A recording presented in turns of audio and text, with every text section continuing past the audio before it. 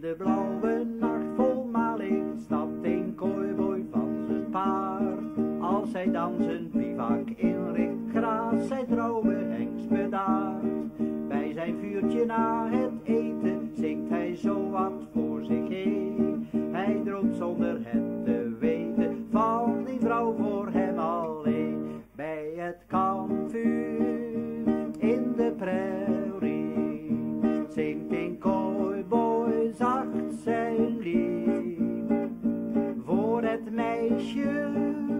van zijn dromen, maar helaas hij kent haar niet. En hij ziet haar bij zich komen, dan kust zij hem goede nacht. Fluistert duizend lieve woordjes en de maan houdt stil de